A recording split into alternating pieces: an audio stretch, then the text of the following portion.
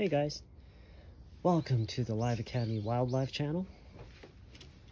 Tonight I will be sharing with you the wild boar. Can you see him?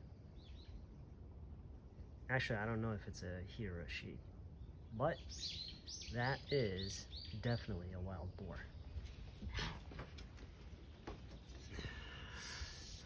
You probably can't really get a sense of how big it is, but man, that thing is huge.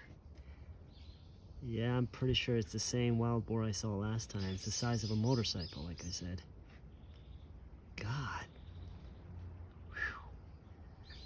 Where are you going, boy?